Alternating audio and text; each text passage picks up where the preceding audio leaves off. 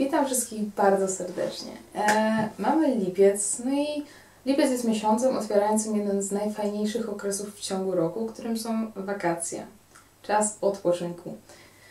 Cóż, nawet apostołowie musieli wypoczywać. Pewnego razu, gdy przyszli do Jezusa, mm, On powiedział im Pójdźcie wy sami na miejsce pustynne i wypocznijcie nieco. Cóż, my nie musimy iść na pustynię, żeby wypocząć, ale w trakcie mm, wakacji jest dużo wolnego czasu, który możemy zagospodarować. Może znajdziemy nawet na czas na przeczytanie tej jednej książki, za którą nie możemy się zabrać od początku roku. E, możemy nawet nauczyć się tańczyć, tak jak e, nas nawoływał do tego święty Augustyn z Hipony. E, możemy też pojechać na rekolekcję wspólnoty.